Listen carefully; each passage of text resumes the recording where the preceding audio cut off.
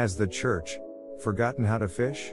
In the Gospel of Luke, Jesus tells the story of a fisherman named Simon who was called to be his disciple.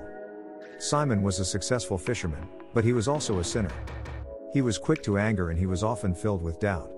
But when Jesus called him, Simon left everything behind to follow him. Jesus taught Simon how to fish for people. He taught him how to reach out to those who were lost and broken. He taught him how to show them the love of God. He soon became one of Jesus' most successful disciples. In the past, we knew how to fish for people.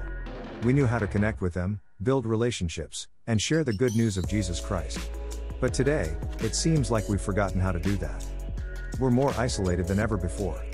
We spend more time on our phones and computers than we do interacting with people in person.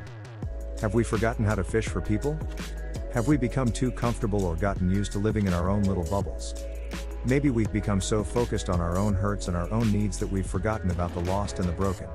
We've forgotten about the people who are hurting and the people who are searching for hope. Maybe we have become rich in baggage and poor in spirit. Do you recall the rich man in Mark chapter 10? We need to remember how to fish for people. We need to get out of our physical comfort zones and build our trust in the Spirit of God. That we may be able to show the love of God. Do you recall John chapter 3? It won't be easy. There will be times when we're rejected.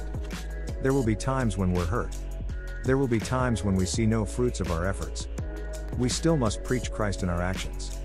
But, if we're willing to put in the effort, we can make a difference in the lives of others. We don't have to be perfect to inspire others. We just have to be willing to grow in Christ, to be authentic, and to live our lives on purpose. Do you recall 1 Corinthians chapter 3 verses 6 through 8? Let's get back to fishing for people and show the world God's love. Let's pray. God, forgive us for forgetting how to fish for people. Help us to get out of our comfort zones and to help show them who are different from us.